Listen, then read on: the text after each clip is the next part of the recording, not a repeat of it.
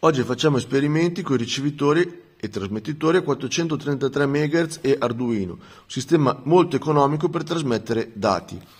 Ho già configurato trasmettitore e ricevitore, proviamo a collegarli.